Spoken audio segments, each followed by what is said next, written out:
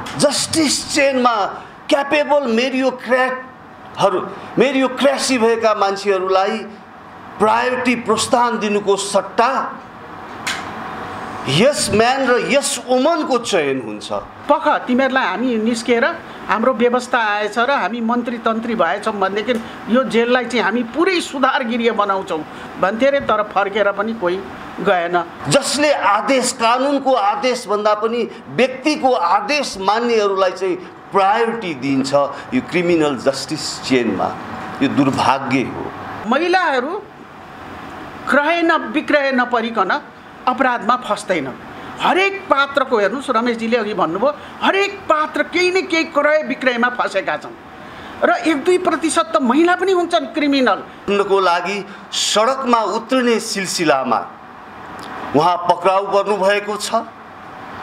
पक्राउ भएपछि उहाँलाई झुटो आरोप लगाइएको छ। दुई हजार छयालिस सालमा उहाँलाई आतङ्ककारीको संज्ञा अथवा अराष्ट्रिय तत्त्वको संज्ञा दिएर उहाँलाई विभिन्न प्रहरी चौकी थाना र पछि कारागारमा राखिएको छ। र उहाँ कारागारमा हुँदाखेरिको उहाँले अनुभव गरेको र उहाँको तिस वर्षको यो वकालत पेसाको उहाँले भोगेको बुझेको जानेका कुराहरू यस उपन्यासमा लेख्नु भएको छ। र मैले उपन्यास पढ्दाखेरि यसलाई मैले दुई तिनवटा भागमा मैले यसलाई चाहिँ विभाजन गरेर यहाँहरूसँग म छोटोमा मैले बुझेको मेरो पर्सेप्सन मेरो व्यक्तिगत पर्सेप्सनका कुराहरू यहाँहरूसँग म सेयर गर्न चाहन्छु। सबभन्दा पहिला त म यसको यो उपन्यासका क्यारेक्टरहरूको बारेमा यहाँहरूलाई छोटो जानकारी गर्न चाहन्छु। यसमा हाम्रो देश दुई हजार छ्यालिसभन्दा अगाडिको अवस्था कस्तो थियो र देशमा उपन्यासकार जस्ता धेरै मान्छेहरूले देशमा समृद्धिको लागि प्रगतिको लागि उन्नतिको लागि कानुन्य राज्य स्थापनाको लागि मानव अधिकार संरक्षणको लागि रुल अफ लको लागि ट्रान्सपरेन्सीको लागि र भन्नुपर्दा गुड गभर्नेन्सको लागि उहाँहरूले लड्नुभयो र त्यो छयालिस सालको अगाडिको र अहिलेको अवस्था के छ त्यो पनि संक्षिप्तमा म आफ्नो अनुभवहरू मैले भोगेको मेरो पर्सेप्सनका कुराहरू यहाँहरूलाई सेयर गर्न चाहन्छु। यस उपन्यासका क्यारेक्टरहरूमा म असाध्यै मलाई त्यो यहाँहरूसँग सेयर गर्न मन लागेको कुरा हिरा माया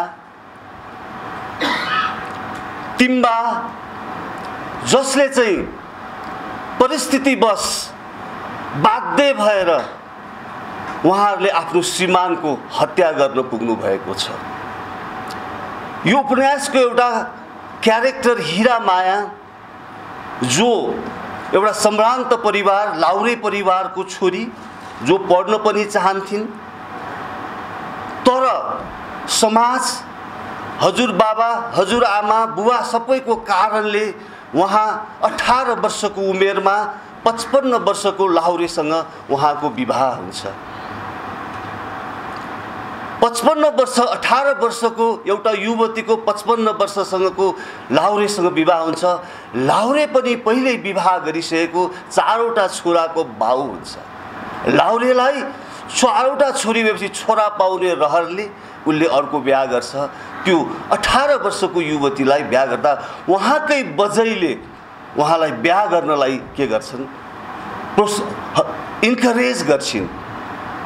र इन्करेज गर्दा एउटा शब्द त्यहाँ मलाई आउँछ याद आउँछ। उहाँले के भन्नुपर्छ नि यो पचपन्न वर्षको बुढोलाई बिहा गरेपछि यो चाँडै मर्छ त्यसपछि यसको सम्पत्ति तैँले सबै तैँले नै मोज गर्न पाउँछस् भन्ने हिसाबले एउटा चाहिँ एउटा इन्करेजमेन्टको एउटा हिसाबले त्यसरी बिहा हुन्छ। बिहा गर्ने सिलसिलामा हिरा मायाले चारवटा तिनवटा छोरी पाउँछ र छोरा पाउने उसमा चाहिँ पछि एउटा छोरा चारौँ पटकको सन्तानमा छोरा पाउँछ लाउरे असाध्यै खुसी हुन्छ। तर हाम्रो समाज हाम्रो इन्भाइरोमेन्ट हाम्रो त्यो देश त्यो बेलाको परिस्थितिले लाउरेको कुलतहरू विसङ्गति विकृतिहरूतिर चाहिँ लाउरे के हुन्छ? बिस्तार बिस्तार इन्क्लाइन हुन्छ। र उसलाई त्यो भट्टीमा आउने मान्छेहरूले त्यो छोरो तेरो होइन भन्ने हिसाबले उसलाई के गर्छन्? इन्साइट गर्छन् र पछि ऊ त्यो छोरालाई पनि मार्छु श्रीमतीलाई नै मार्छु भनेर एकदम चाहिँ इन्टोक्सिकेटेड भएर जान्छ आत्मरक्षाको लागि हिरा मायाले लाउरेलाई के गर्छन्? बाध्य भएर उसैको खुकुरी खोसेर लाउरेलाई हान्दाखेरि लाउरेको ती मृत्यु हुन्छ र त्यो कारणले आफै प्रहरी चौकीमा गएर आत्मसमर्पण गर्छिन् र बिस वर्षको कैदी जीवन जीवन उहाँले बिताउँछिन्। एउटा यो इन्ट्रेस्टिङ त्यसपछि त्यस्तै श्रीमानको हत्यामा तिम्बा भन्ने एउटा क्यारेक्टर छ। उसको पनि त्यसको उसको बुवा आमाहरूले उसको चाहिँ एउटा ग्रुमिङ राम्रो ग्रुमिङ नगरिदिँदा कारणले ग्याम्लिङ डेन्स लिकर डेन्स र त्यहाँ चाहिँ एउटा चाहिँ सेक्स वर्कर्सहरूको पनि एउटा चाहिँ त्यो त्यो ठाउँ आफ्नै बुवा आमाले गर्दाखेरि त्यसबाट ऊ पनि बिग्रिँदै बिग्रिँदै बिग्रिँदै धेरैलाई भिक्टिमाइज गर्दै गर्दै पछि एउटा लाउरेसँगै उसको विवाह हुन्छ। र लाउरेले उसको चाहिँ आफ्नो चाहिँ उसलाई सेटिस्फ्याक्सन सबै किसिमको सेटिस्फ्याक्सन गर्न नसके उसकोलाई पनि उसको हत्या हुन्छ र ऊ पनि उसको कैदी जीवन त्यही कारागारमा हुन्छ। र पछि ऊ अलिकत अलिकति क्रुल रुट अलिकति म्यानिपुलेटिभ भएको हिसाबले ऊ त्यो कारागारको चाहिँ नायिकेनी पनि हुन्छ। कारागार प्रशासनमा कारागार व्यवस्थापना यहाँहरूलाई थाहा छ। कारागार ऐन दुई हजार उन्नाइस नियमावली दुई हजार बिस अन्तर्गत चाहिँ त्यहाँको आन्तरिक प्रशासन हेर्ने जिम्मा तीकै कैदीहरूलाई दिन्छ बन्दीलाई पनि दिँदैन कैदीलाई नै दिन्छ।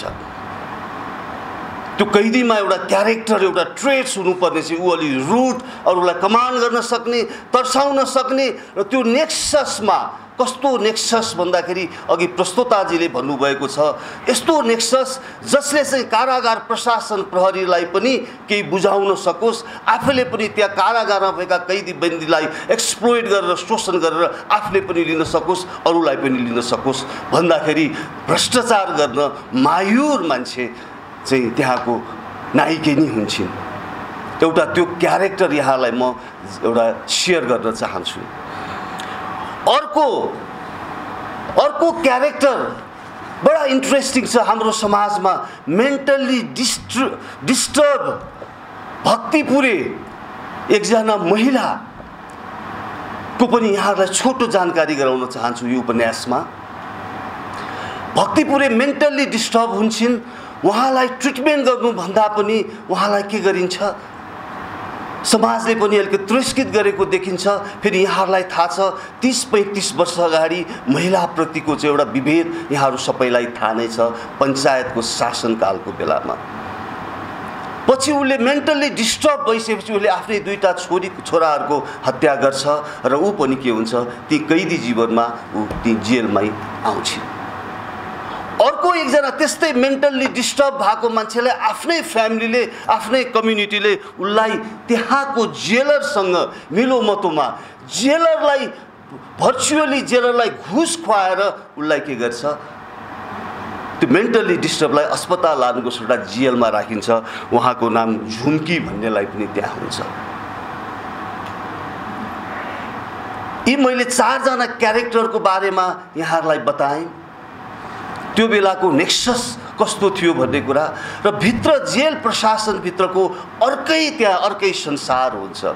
कारागारभित्रको कारागार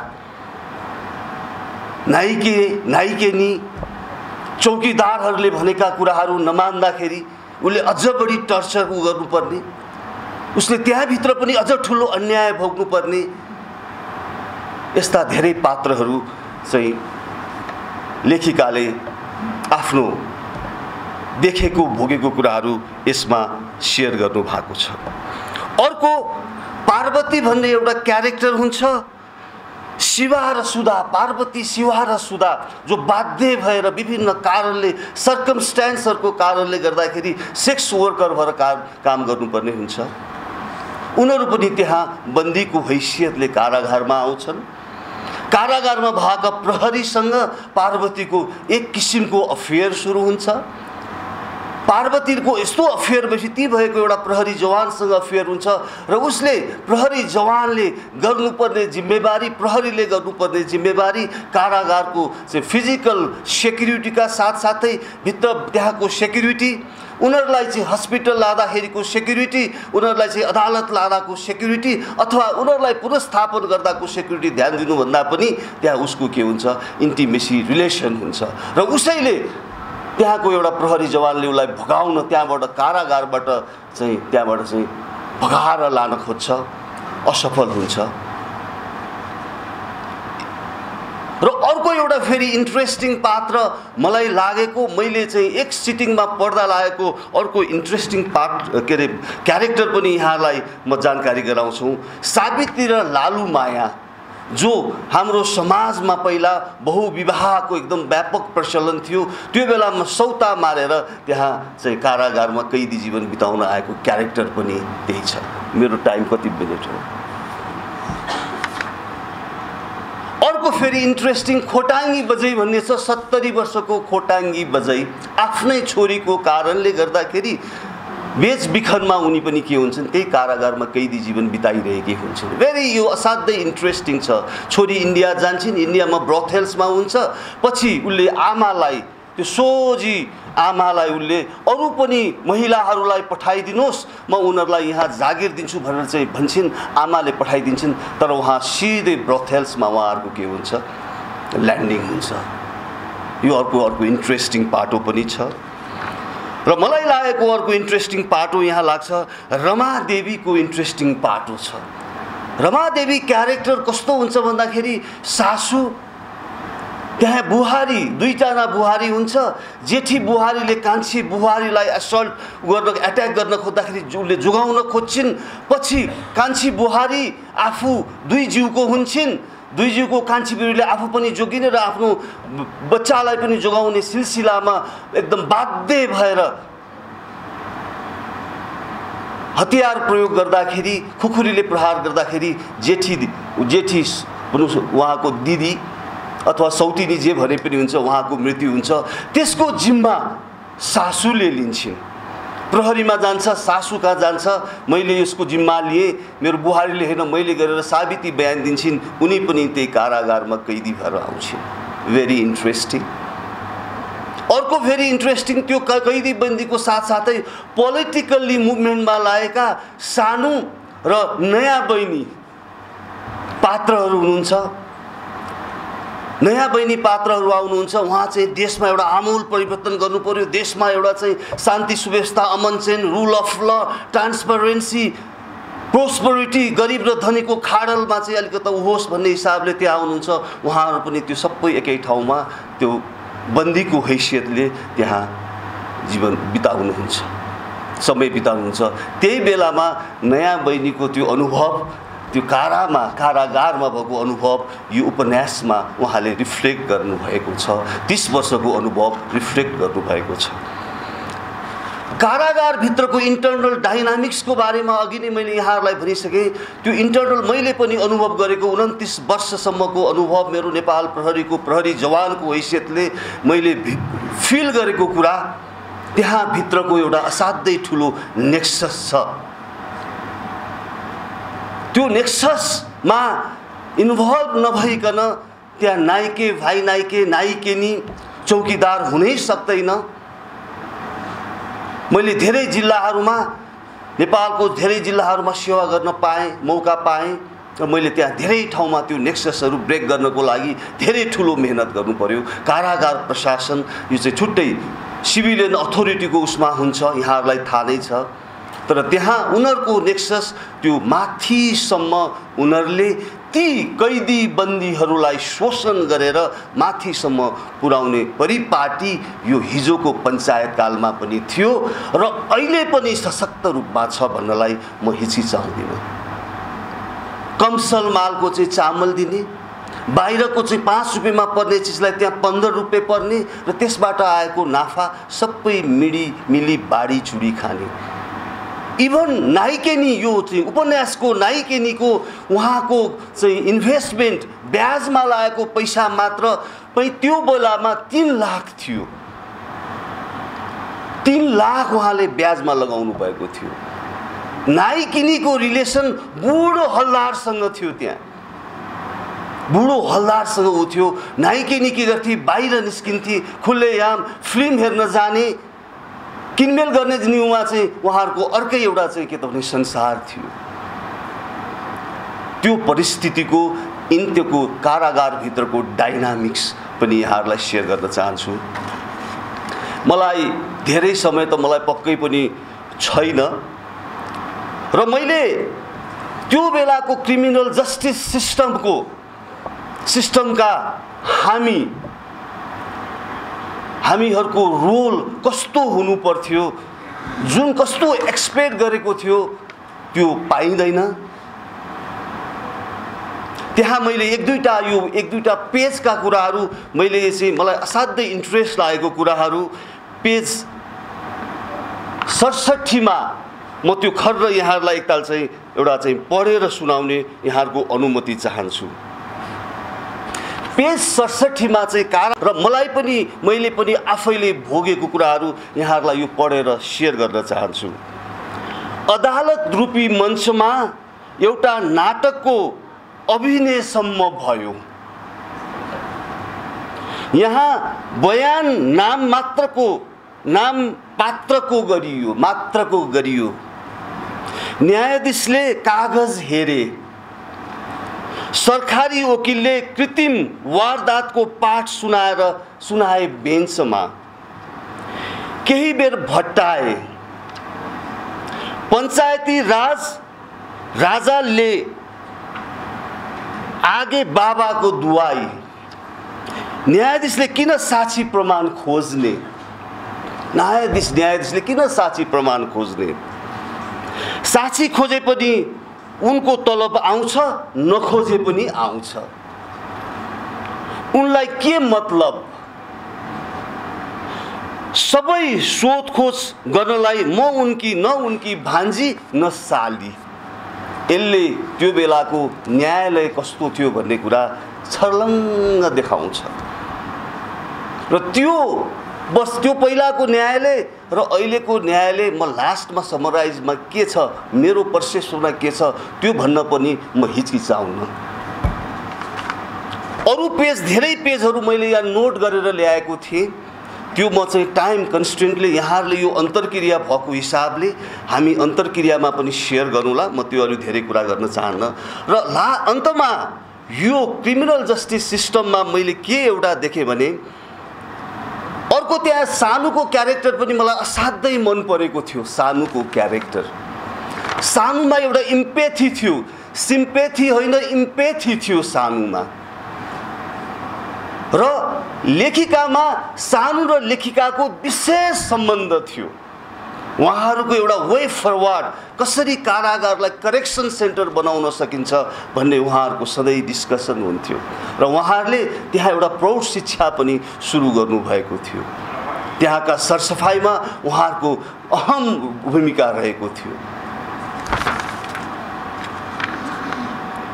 र दुई सय अठार पेजमा म यो अब पढ्दिनँ तर दुई सय अठार पेजमा के भन्न खोजिएको छ भन्दाखेरि एउटामा अहिलेको र हिजोको कम्पेयर गर्दाखेरि old wine in new bottle.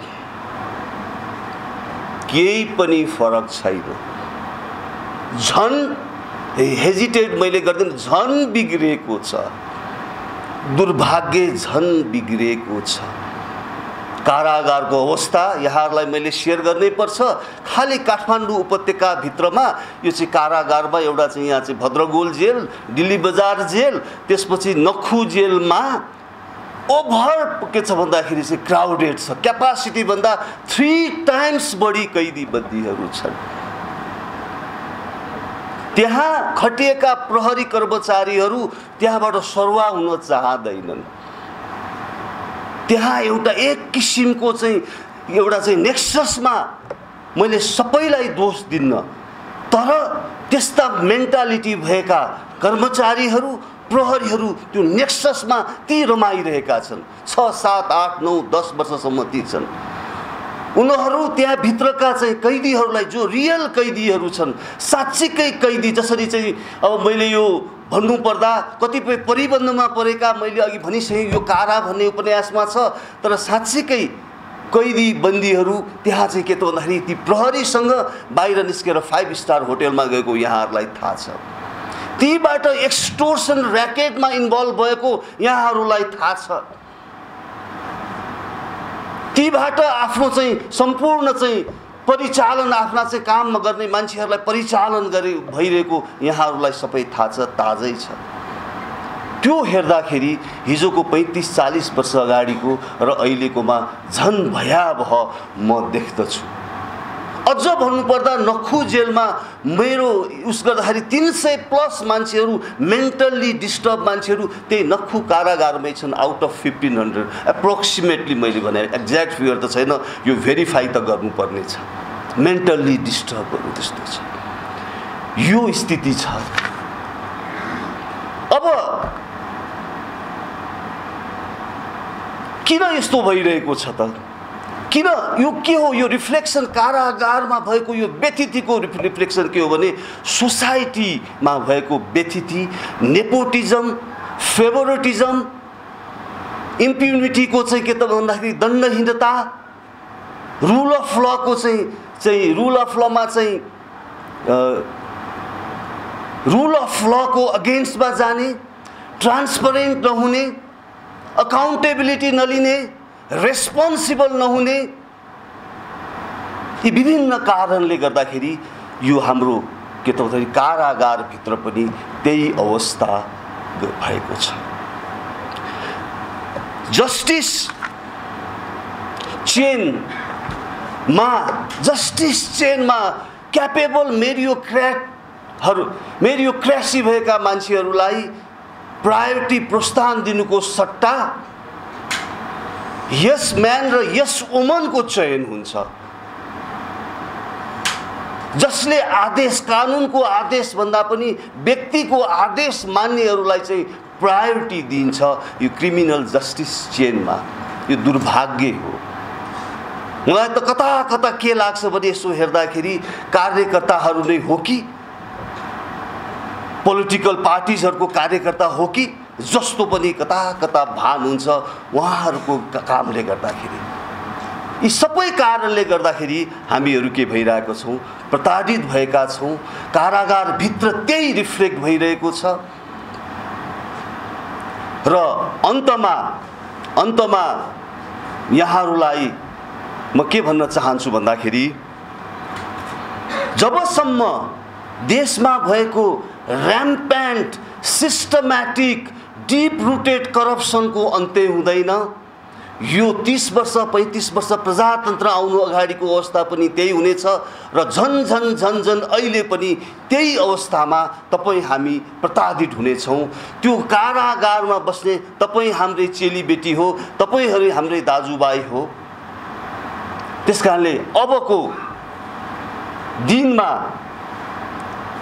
यदि यी विकृति विसङ्गतिहरूलाई हामीले छेड्न सकेनौँ यिनीहरूलाई ओभरकम गर्न सकेनौँ भने के हुन्छ? फेरि यस्तै समस्या रिपिट भइरहन्छ। र समयको मलाई दसदेखि पन्ध्र मिनटको मलाई पहिले जानकारी समय दिएको हिसाबले योभन्दा बढी मैले केही भनिनँ। र म यो किताब पब्लिसरप्रति आभारी छु। र लेखिकाले जुन जुन किसिम किसिमले यहाँ प्रस्तुत गर्नुभएको छ यो उपन्यासमा मलाई जति पढ्यो आफूले पनि त्यही इन्काउन्टर गरेको फिल भइरहन्थ्यो। त्यहीसँग भिडिरहेको फिल भइरहन्थ्यो र यहाँहरू सबैलाई म के रिक्वेस्ट गर्न चाहन्छु नि यो वान सिटिङमा यो उपन्यास पढ्न वर्थ छ र म एउटा लास्टमा लेखिकाले पहिला यो पञ्चायत कालको मात्र यहाँ प्रस्तुत गर्नुभएको छ। उहाँ जस्तो बोल्ड मान्छेले अहिलेको अवस्था पनि के छ भन्ने पनि अवस्थाको कुरा पनि यस्तै उपन्यास लेख मात्र मार्फत आओस् भन्ने भन्ने म उहाँलाई शुभकामना दिन चाहन्छु। धन्यवाद नमस्कार।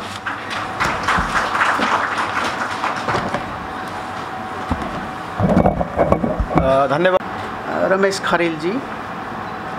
यहाँ उपस्थित हुनुभएको यस्तो चिसो मौसममा पनि यहाँ उपस्थित हुनुभएको महानुभावहरू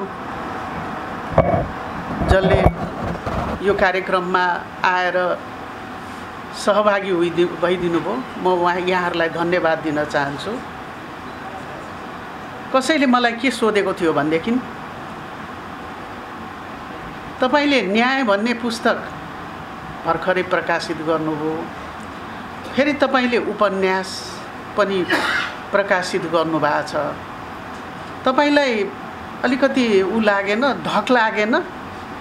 तपाईँ अब पेसाले न्यायाधीश पेसाले वकिल तपाईँलाई त्यस्तो केही फिल भएन? यो कस्तो होला के होला? मैले त्यो भाइलाई के पत्रकारै भाइ हो मैले उहाँलाई के जवाब दिएको थिएँ भने?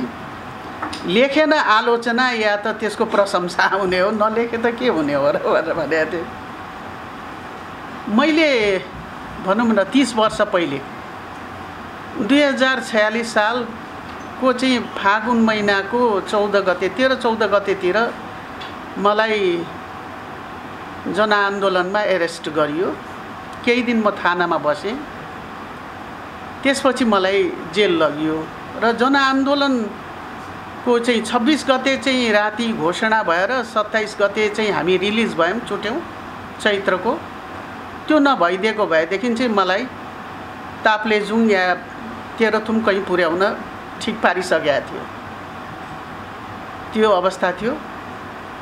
अनि जुन दिन म जेलमा गएँ जेलमा मलाई लग्यो लगिसकेपछि भित्र गइयो। मैले त्यहाँको आफूले पाएको एक्सपिरियन्स चाहिँ एकजना पात्रको मार्फतबाट एक्स त्यसलाई बताएको छु। मुख्य पात्र भनौँ न म म ज मेरै अभिव्यक्ति जस्तो देखिन्छ। त्यो मुख्य रमेशजीले मलाई नै तोक्नुभयो। त्यो अभिव्यक्ति चाहिँ त्यहाँबाट देखिन्छ। त्यो वास्तवमा केही कुराहरू चाहिँ त्यहाँको एकदमै काल्पनिक छैन है। यथार्थ हो। भित्र पस्ताको कैदीहरूले गर्ने त्यहाँ बस्ने कैदी बन्दीहरूले गर्ने व्यवहार। कैदी र बन्दीमा फरक हुन्छ। कैदी भनेको तोकिएको सजाय तोकिएको बन्दी भनेको चाहिँ मुद्दा चल्दै गरेको हुन्छ। त तिनीहरूले गर्ने कैदी बन्दीले गर्ने चाहिँ त्यो व्यवहार दुर्व्यवहार जस्तै हुन्छ एउटा। जस्तो स्टुडेन्ट हुँदाखेरि ऱ्यागिङ गर्छन् नि त्यस्तै ऱ्यागिङ गर्ने चलन हुन्छ त्यहाँ। त्यसपछि त्यहाँभित्रको फोहोर मैलो मैला अनि एकै ठाउँमा खाना पकाउने एकै ठाउँमा त्यहाँ बस्ने गर्दाखेरि चाहिँ एकदम ठुल्ठुलो झुल जस्तो चाहिँ त्यो के अरे माकुराको जालोहरू। त्यो कस्तो भने त्यहाँ पसिसकेपछि त्यो कैदी बन्दीको फिलिङ के हुँदो रहेछ भने म त यहाँ एउटा समाजबाट घृणित भएर न आएको हुँ। त्यसैले मेरो अबको दिन भनेको के हो र भन्ने एकदम मैलो दैलो भएर बस्ने जस्तो लाग्दा त्यहाँ मलाई फर्स्ट डे देख्दाखेरि इथोपिया जस्तै लाग्यो। अब इथोपिया त म त्यो बेला अहिले इथोपिया राम्रो भइसक्यो। त्यस बेलाको इथोपिया जुन हुन्छ नि त्यहाँ अनिकाल अकाल लागेको एकदमै सबै छोडिदिएको के त्यागेको शरीरलाई। शरीरलाई चाहिँ मानिलिउँ कि म मर्न आएको हुँ भने जस्तो मलाई सिँगार्नु किन पऱ्यो मैले राम्रो लाउनु पनि किन पऱ्यो भन्ने त्यो फिलिङ त्यहाँ देखेँ मैले। अनि राणाकालीन त्यो भवन भवन त राम्रो इटै इँटाको चाहिँ जोडेर बनाएको। यसो हेर्दै कुनै चाहिँ पुरानो किल्ला जस्तो देखिने। किल्ला जस्तो देखिने अनि कस्तो कस्तो त्यो फिलिङ आयो। वास्तवमा भन्यो भने बत्तिस तेत्तिस सालतिर मलाई साहित्यतिर एकदम इन्ट्रेस्ट थियो। म लेख्थेँ कथा कहानीहरू लेख्थेँ। जब पैँतिस सालतिर चाहिँ अन्तिममा आएर म वकालतमा प्रवेश गरेँ म ओ वकालतैतिर भएँ र वकिलै भएँ एकदमै। मैले त्यो लेख्ने ओर्ने सबै छोडेँ किनभने टाइम पनि पाइनँ। यतातिर परिश्रम धेरै गर्नुपर्ने असाध्यै वकिल भएपछि। सपनाजीलाई थाहा छ नि रात बिरात पढ्नुपर्छ। यसो मुद्दाको बारेमा यसो केही सोच्नु पऱ्यो भने आधा रातमा उठेर पनि बत्ती बालेर गएर पढ्ने। अनि मलाई सबभन्दा मेरो श्रीमानले मद्दत गरेको म मैले आफ्नो किताबमा पनि लेखेको छु। त्यसरी हुन त उहाँ रिसाउनुहुन्न थियो यसरी डिस्टर्ब गरेको भनेर। रिसाउनु उल्टै चिया बनाएर ल्याइदिनुहुन्थ्यो कि? मलाई बडो आनन्द लाग्थ्यो। अनि पढ्यो। त्यस्तो हुन्छ। एकदमै सपनाजीहरू अब हामीहरू वकालतै गरे मानिस हो। त्यतिखेर एकदम अब मनमा आयो यो यो पोइन्ट भनेपछि राति उठेर पनि पढ्यो त त्यसरी मेहनत गर्नु भनेपछि मैले साहित्यलाई छोडेँ। लेख्ने ओर्ने कुनै दिन म त्यो बेला एक आध वर्ष पत्रकार भएर पनि हिँडेँ। तेत्तिस बत्तिस चौतिस सालतिर। अनि साहित्यहरू पनि खुब साहित्यकारसँग साहित्यकारमा अलिअलि मेरो भेट भएर मलाई कहिलेकाहीँ यसो कन्सल्ट गरेको चाहिँ हरिभक्त कटुवालजी आसामको केही समय एक एक वर्ष जति होला काठमाडौँमा ल पढ्दाखेरिको बेलामा दाई यो लेखेको हेर्नुहोस् न भनेर भने एक दिन एउटा उपन्यासकै मोटामोटी सिनोप्सिस लेखेर देखाएको। ती दाईले त के भन्नुभयो भने तिम्रो उमेर भएको छैन अहिले नानी नलेख भनेर भन्नुभयो। अनि मैले छोडिदिएँ त्यसपछि।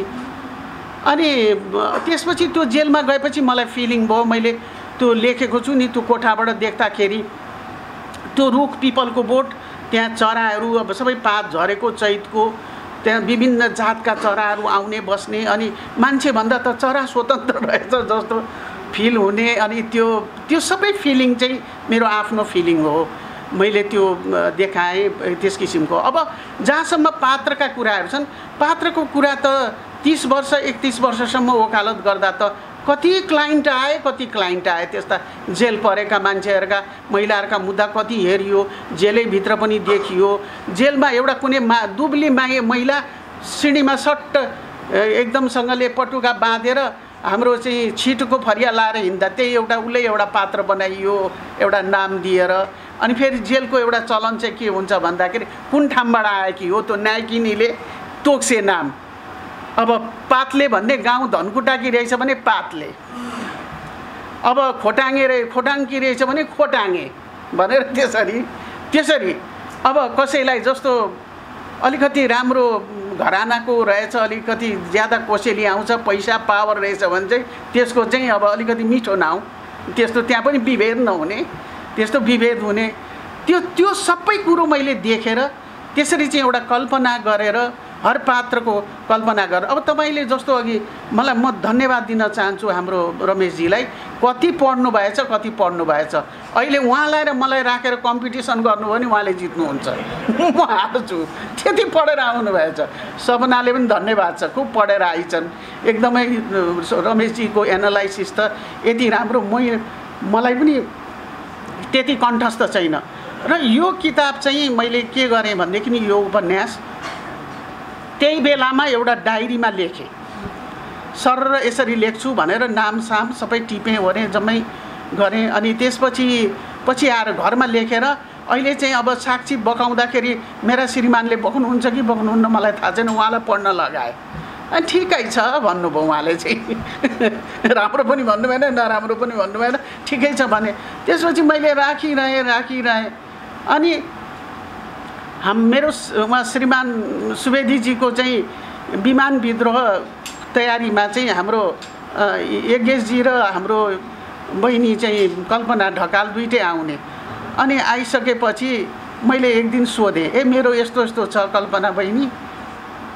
खालि मैले महिला पात्र भएको मैले यसरी लेखेको छु। के गर्ने भन्दा कोही ल्याउनुहोस् त भनेर भनिन्। अनि लिएर गएर उनले चाहिँ यज्ञेशजी र सायद दुईजनाले हेरे होला ल यो ठिक छ यसलाई चाहिँ हामी प्रकाशित गर्छु। गर्छौँ भनेको हुनाले त्यतिकै भयो अनि प्रकाशित भयो।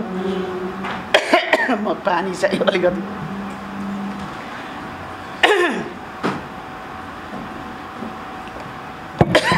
कस्तो पोकी लाग्नु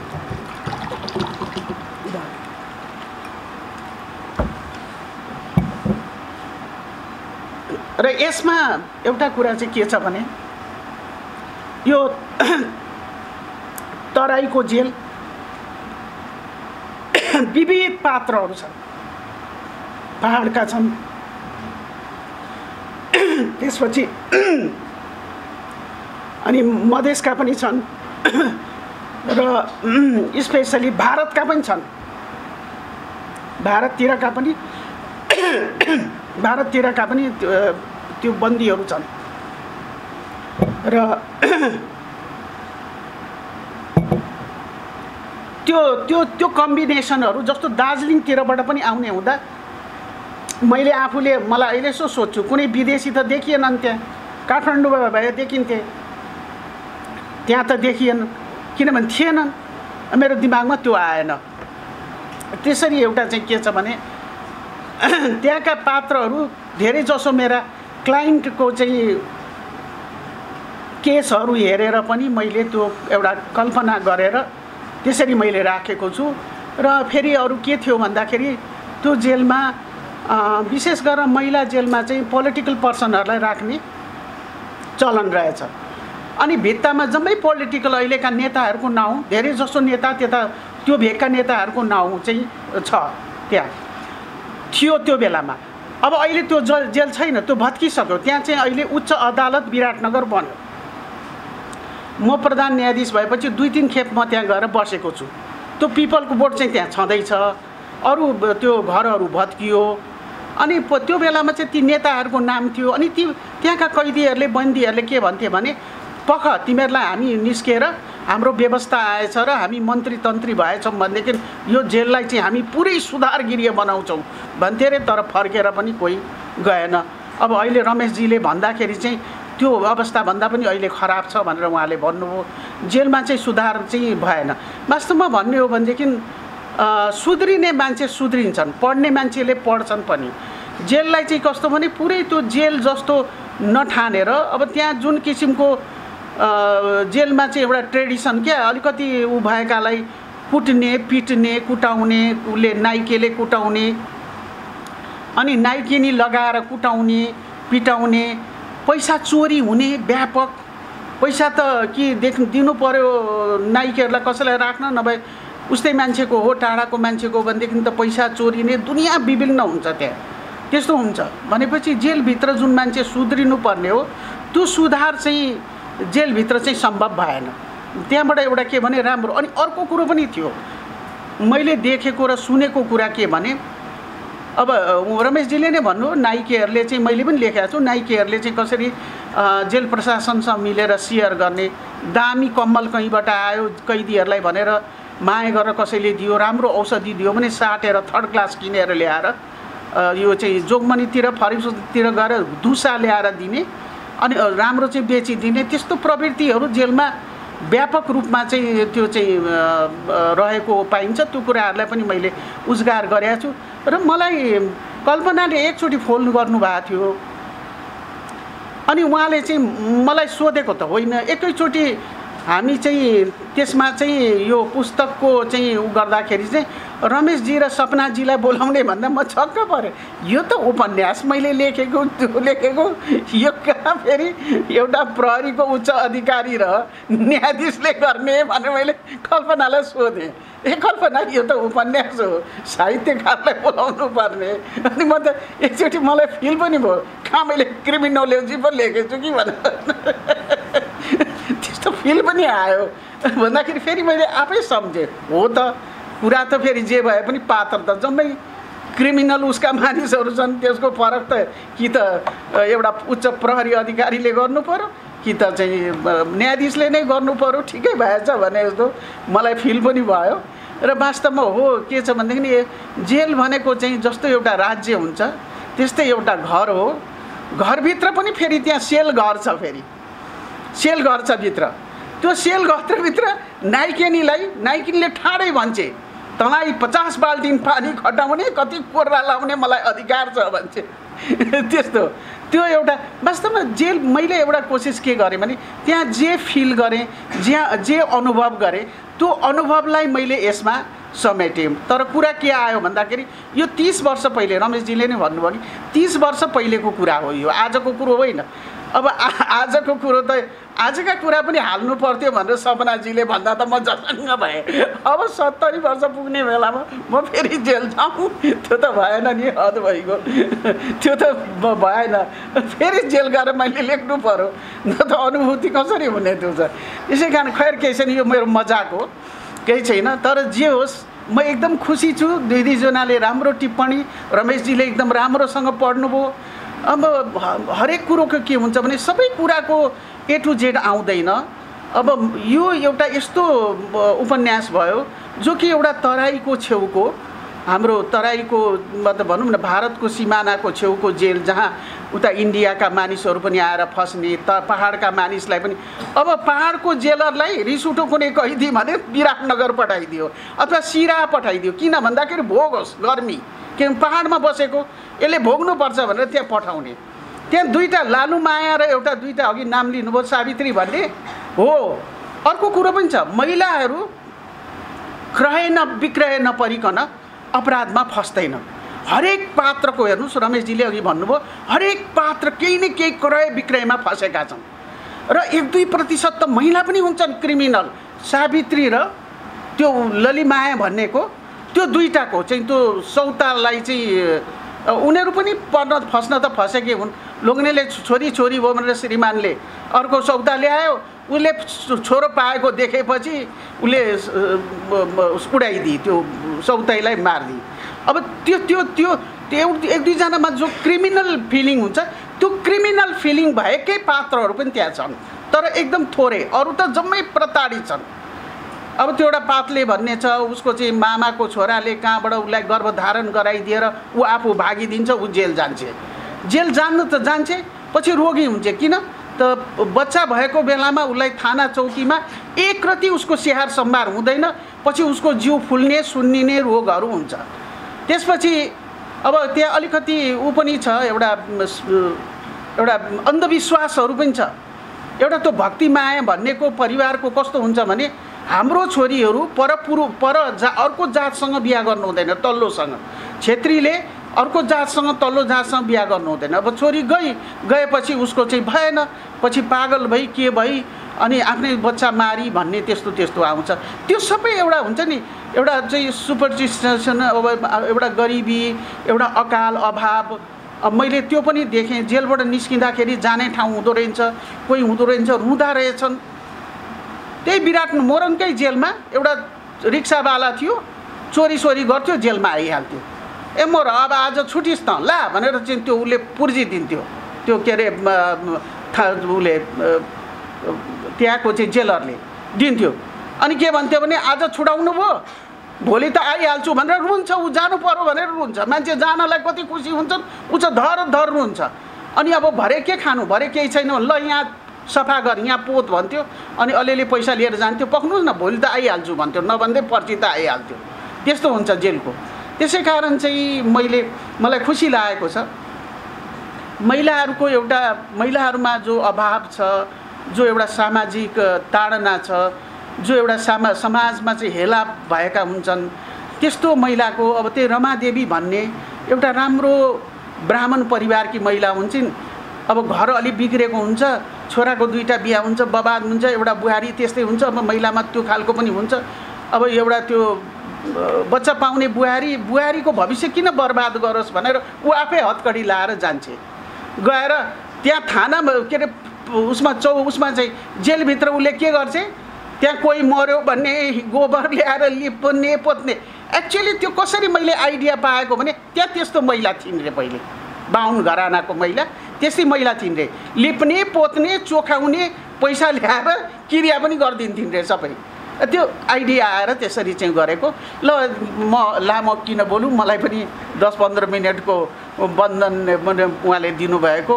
मलाई तपाईँहरू सबैजना यहाँ आइदिनु भयो खुसी लाग्यो। अब सपना